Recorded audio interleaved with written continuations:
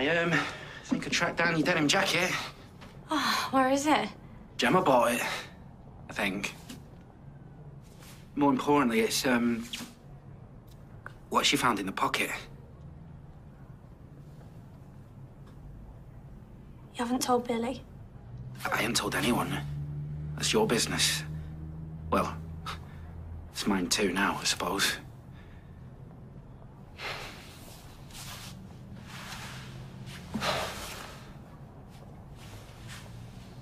Does Aaron know?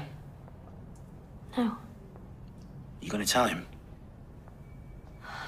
He's got so much on his plate at the minute. You know, his dad's just gone into this support group. How can I tell him about this as well? You know, it takes two to tango, sweetheart. If this is a mess, it belongs to both of you. He's just dumped me. This is hardly going to make him fall back into my arms, is it? That was partly my fault. You? I kind of warned him off. I knew about the stuff that was going on with his dad, and I just thought it'd be too much for you.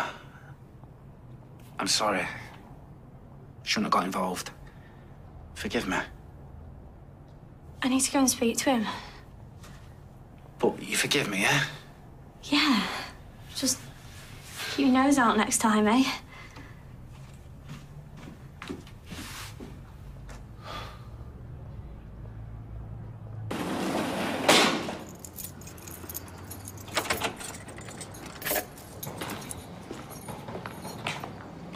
Hi.